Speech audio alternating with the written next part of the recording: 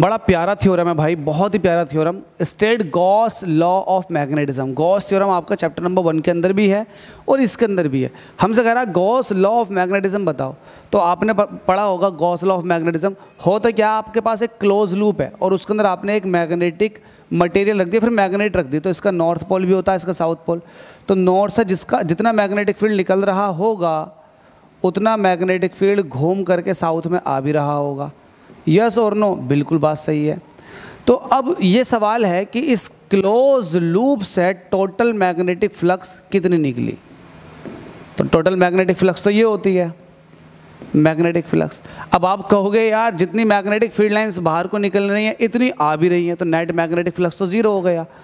तो किसी भी क्लोज सरफेस के लिए, किसी भी क्लोज सरफेस के लिए टोटल मैग्नेटिक फ्लक्स जो होता है, वो ज़ीरो होता है।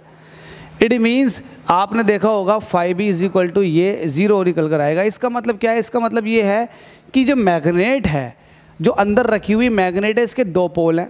दो पोल हैं नॉर्थ पोल और साउथ पोल जितना निकल रहा है मैग्नेटिक फ्लक्स इतना आ भी रहा है। तो जितना निकलेगा, उतना आएगा। इट मीन्स दो पोल हैं मैग्नेट के। दूसरी बात यह है कि जब दो पोल है तो मोनोपोल एग्जिस्ट नहीं करेंगे, एक पोल एग्जिस्ट नहीं करेगा। ठीक है, ये वाली बात भी है।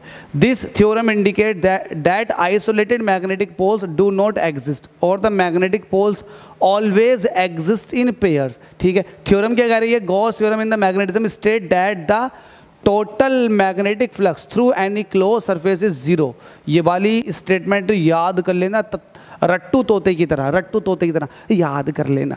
अच्छा है, बहुत अच्छा है। हरियाणा ने ये क्वेश्चन पूछा है problem number fourteen thank you so much इसके कॉन्सिक्वेंसेज भी मैंने इसी के अंदर बता दिए।